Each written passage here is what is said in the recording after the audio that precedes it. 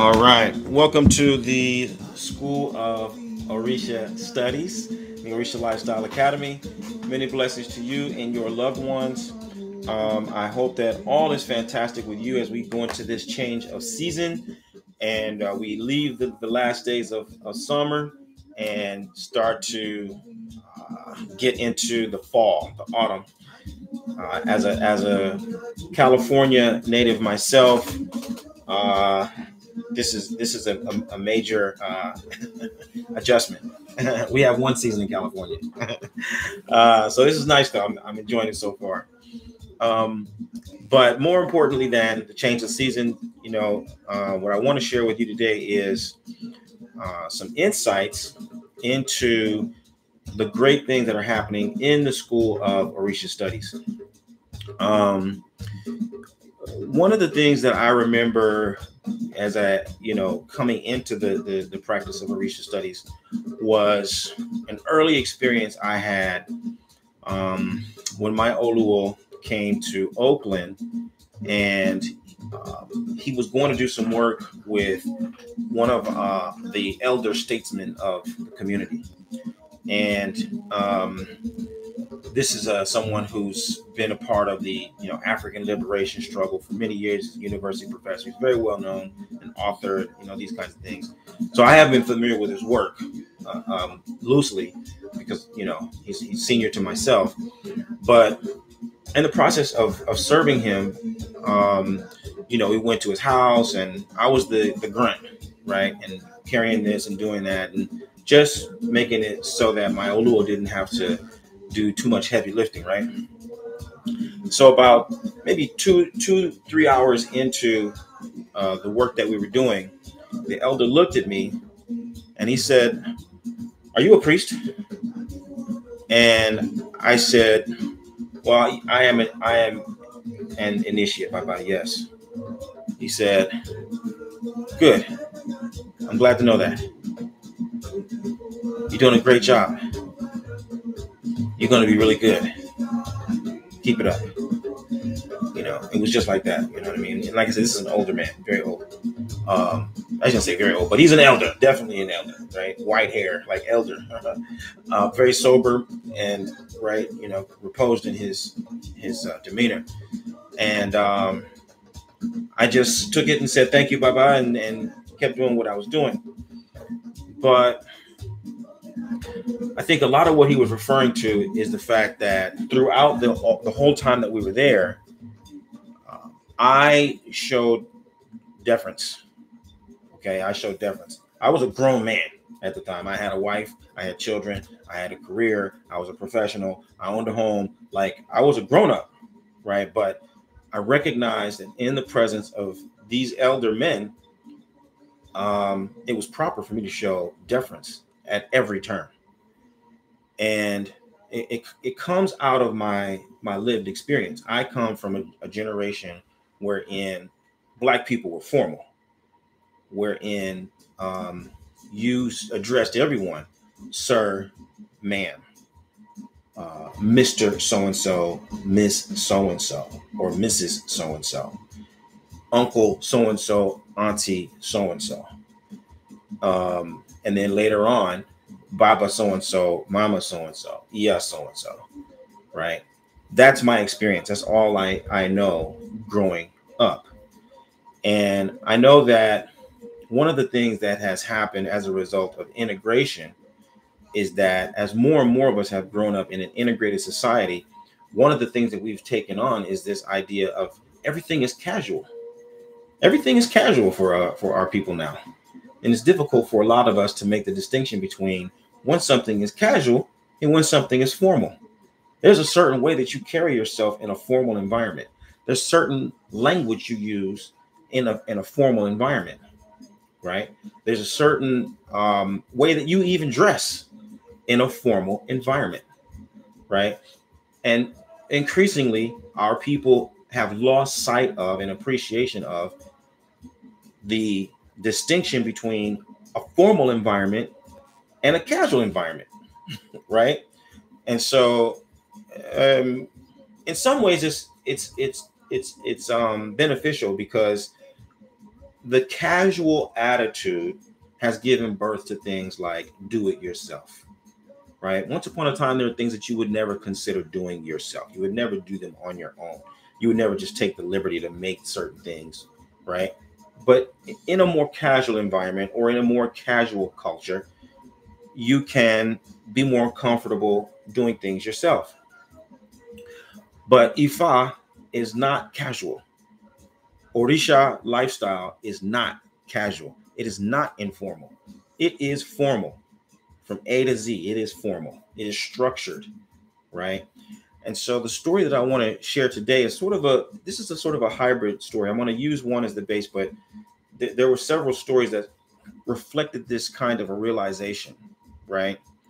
And um, this is a story that reflects how important it is for us to recognize when something is formal and when something is casual so that we can act accordingly. We can get, uh, we can participate in the environment, in the activity in a way that matches what is supposed to be with match the, the tone and the intention of that environment. So here's the way the, the story goes. This, she says, when I found the School of Orisha Studies, I was looking for guidance. Okay. I had been studying Orisha on my own and realized that without the help of an initiated, properly trained priest, my studies wouldn't go beyond the surface level. Since I've joined the school, I've learned how to prepare offerings, how to venerate uh, spirit in the Yoruba language, and how to properly protect myself spiritually.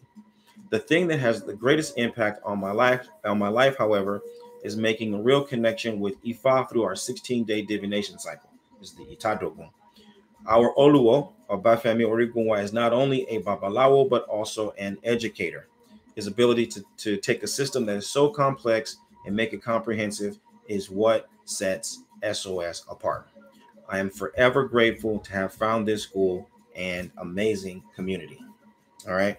And so, um, one of the things that really struck me about this story was that this individual, number one, knew that she was looking for guidance and direction and and looking for guidance and direction in a you know by someone who was qualified to provide a structured format for learning and and development okay?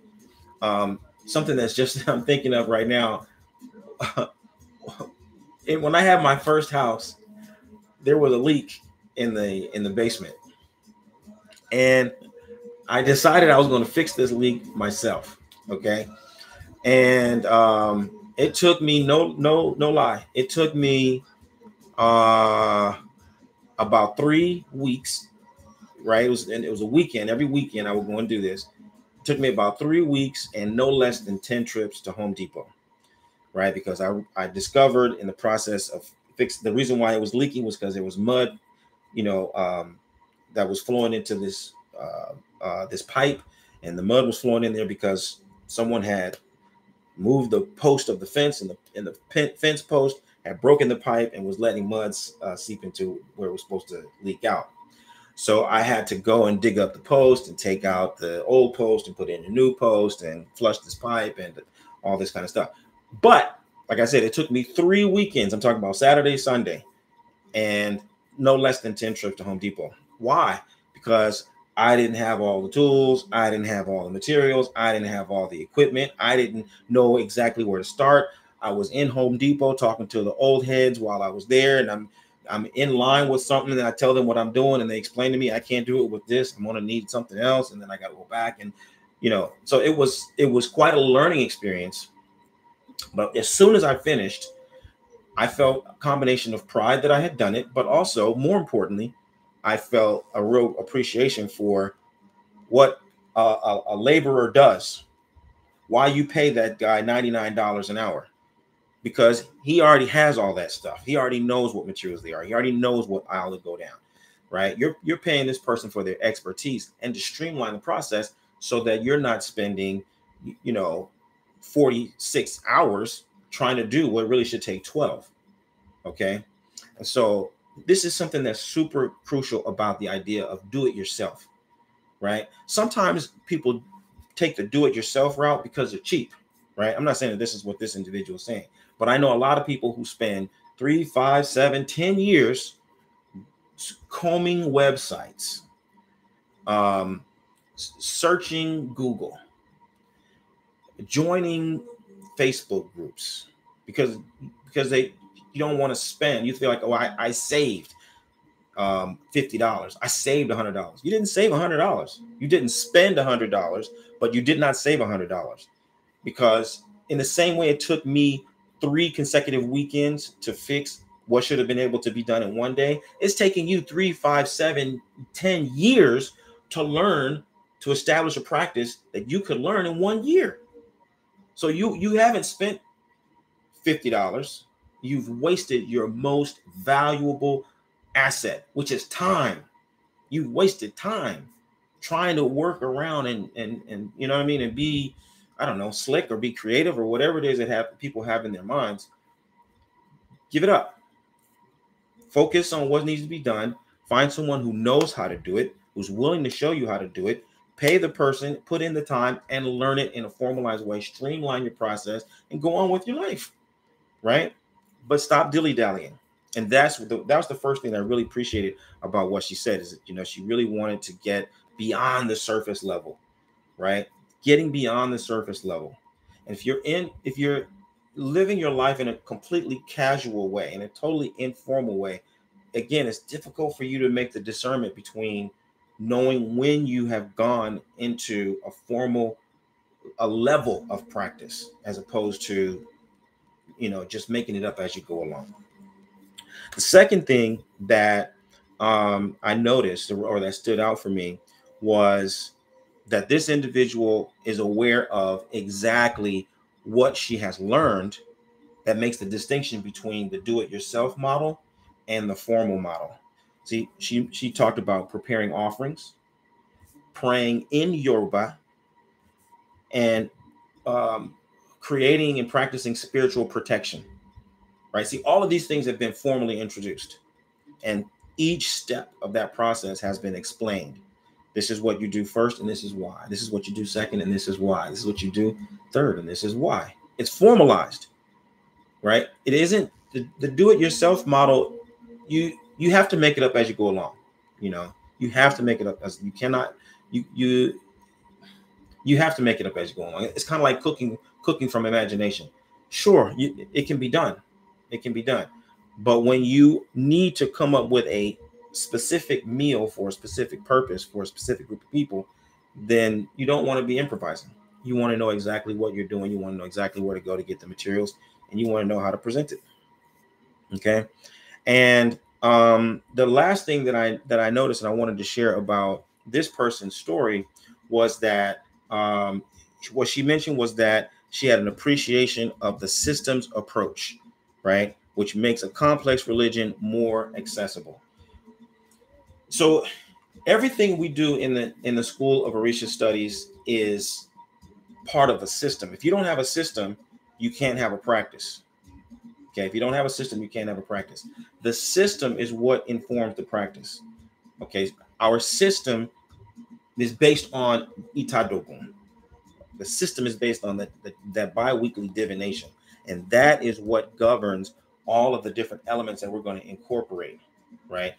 Which prayers we're going to recite, which offerings we're going to make, which observances we're going to keep. And we understand how all of those different areas of activity converge into one thing, how they support one movement, right? It's done in a, like I, I mentioned yesterday, everything is consistent, right?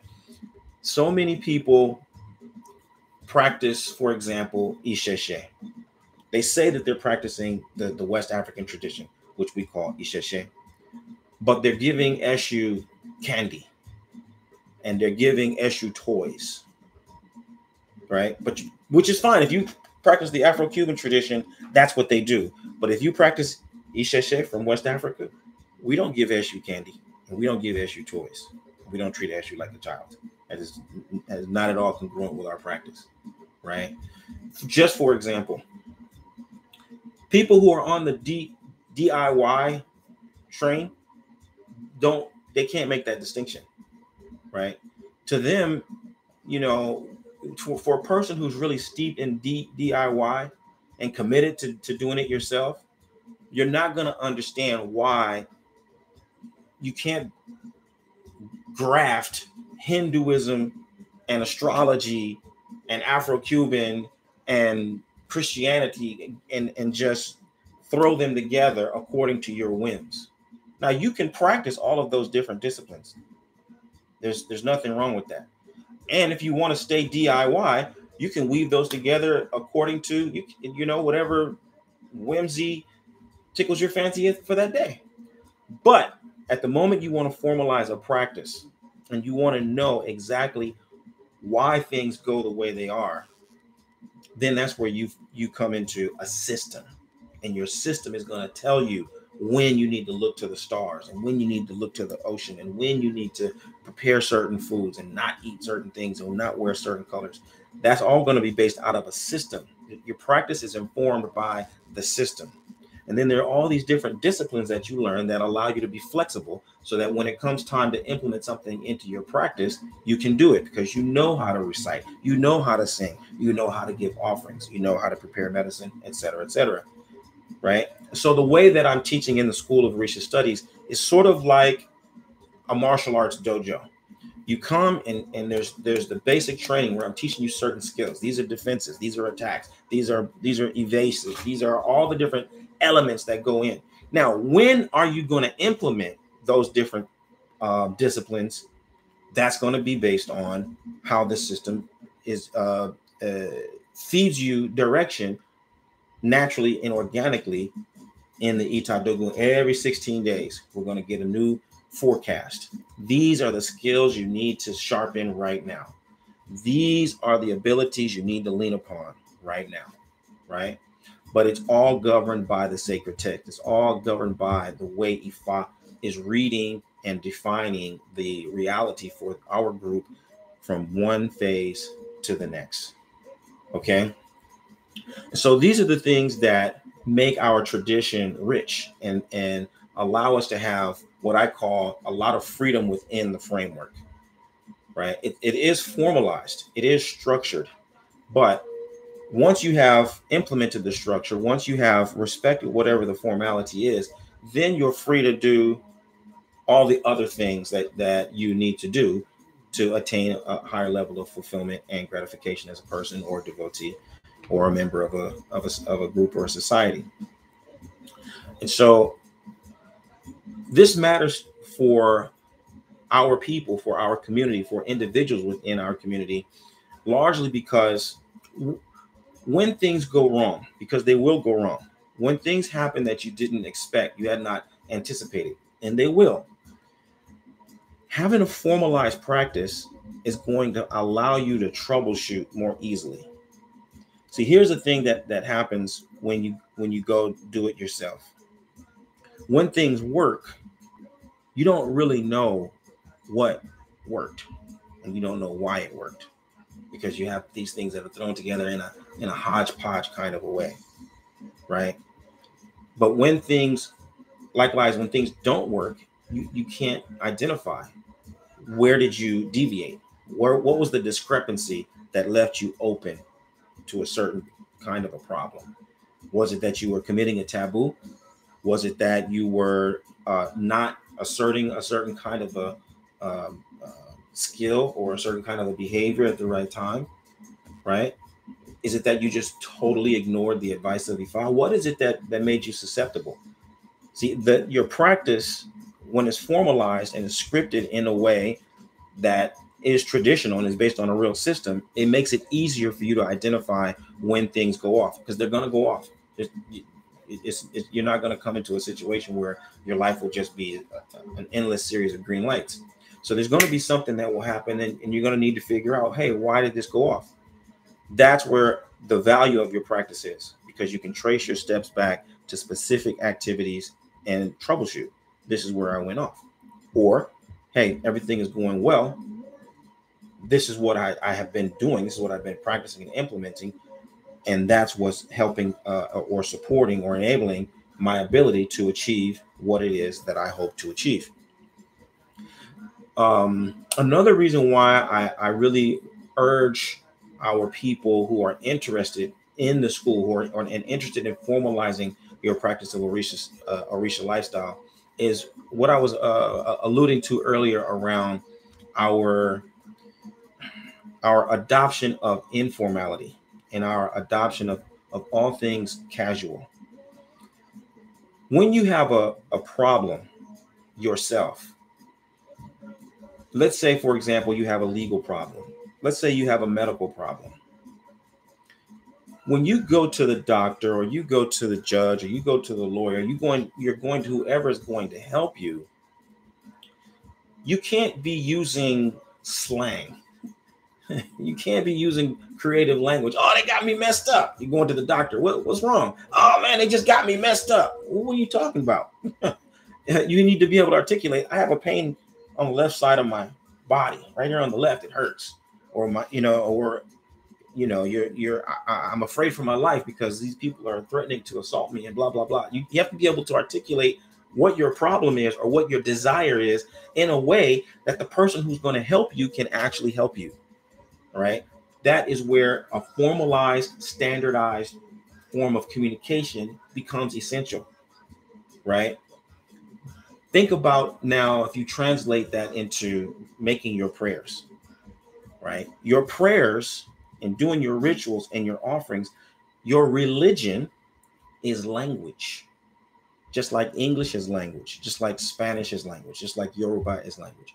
But we use spoken language to communicate with one another, right? And we speak to our to our peers and our loved ones in the language that that person understands. Religion is the formalized language through which you communicate with the divine religion, making offerings, making prayers, making sacrifices, these are this is the that's the grammar of sacred language. It has been cultivated for thousands and thousands of years, right? Sure, you could go and make up your own language and you can have slang that you can speak on your block, but you can only speak to the people on your block who know that language, that slang. But when you want to talk to the broader world, or you want to talk to specific people in the broader world, you need to speak a formalized language that is universally understood. That is what your religion represents. Okay, so that's what I'm referring to when I say a system. So you need to be able to streamline your communication with your ancestors. You need to be able to streamline your communication with the divinities. You need to be able to streamline your communication with your own internal spirit by following a structured format for worship, devotion, prayer, etc. All right. This is so important for us. This is so important for us because a lot of us, the overwhelming majority of us, are either exiting Christianity or have already or never were formally, you know, introduced to Christianity and we're looking for some way to make this communication with our with our divine essence. We're trying to we're trying to satisfy that internal urge to be at one with the ancestors and the divinities and the, the, the force of life itself. And we get this idea that because it isn't Christianity or it isn't Islam, it's alternative. We look at Orisha as alternative religion. We look at Orisha as as um, uh, as alternative medicine. It's not alternative. It is not alternative. Okay, it's not. It isn't casual. It isn't do whatever you want. It isn't like you go out with how you feel. No, it is its own structure. It has its own format. And if if you really want to get the results with a high level of precision and exactness out of this tradition, then you follow the format that has been practiced and distilled for thousands and thousands and thousands of years. Why would you want to do it yourself when there are people who have spent their entire lifetimes mastering the art and are willing to show you how to master the art yourself? Why would you do it yourself? You know, why would you do it yourself? When I was little, I had a a, a pipe wrench and a uh, butter knife and I fixed everything in in my house with a butter knife and a pipe wrench. right?